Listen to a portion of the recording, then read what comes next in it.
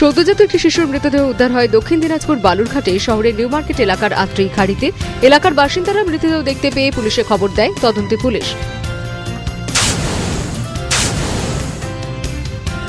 মালদহের ইংরেজ বাজারের মোহদ্দিপুর ও কালিয়াচকের চিরন্তপুর থেকে উদ্ধার হয় মোট তেরোশো বোতল পেন্সিডিলের শিশি।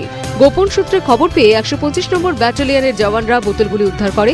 থানায় বোতলগুলি জমা করা হয়। মালদহের রতুয়ার রামপুর গ্রামে দুই কংগ্রেস কর্মীকে মারধরের অভিযোগ উঠল সিপিএম কর্মীদের বিরুদ্ধে।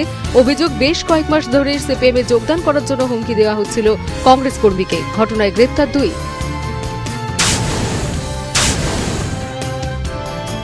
মালদা মেডিকেল কলেজ হাসপাতাল থেকে উদ্ধার হল আড়াই লক্ষ টাকার জাল নোট। ঘটনায় গ্রেপ্তার এক। অভিযুক্তকে আজ মালদা আদালতে তোলা হয়।